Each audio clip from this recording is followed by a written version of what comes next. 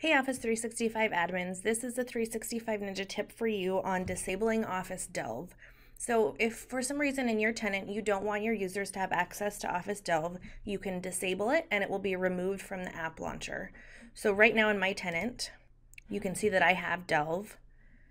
To disable it, I'll go to my SharePoint Admin Center,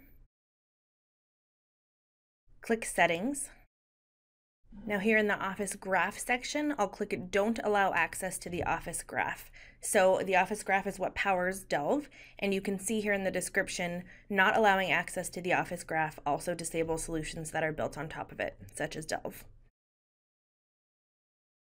So I'll scroll down, and then click OK. And now I still see Delve in my app launcher,